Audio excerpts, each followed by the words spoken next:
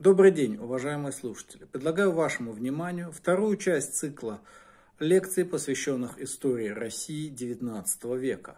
Она охватывает период с 1848 по 1881 год и называется «Эпоха великих реформ».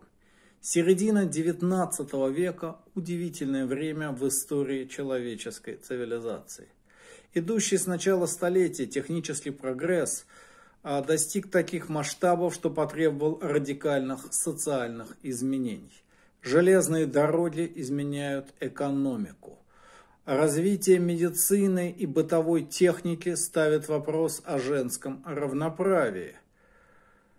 Телеграф и газеты, первая в мире система мгновенной связи, меняют мировоззрение людей. Другим фактором, оказывающим колоссальное воздействие на события той эпохи, стал рост национального самосознания народов.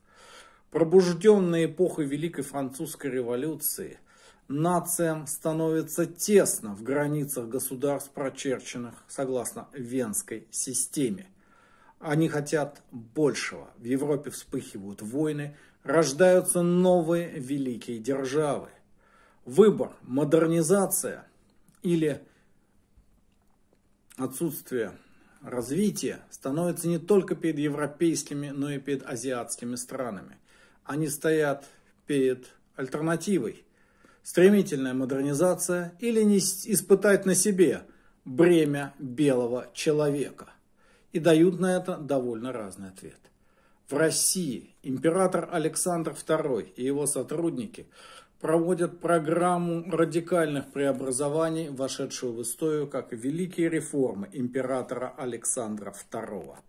Отмена крепостного права, создание новой судебной системы, создание системы земского самоуправления, военная реформа, реформа печати, реформа городского управления, первые шаги к созданию национальной системы здравоохранения, преобразование в экономике, все это тесно увязанные между собой программы, радикально меняющие внешний и внутренний облик России.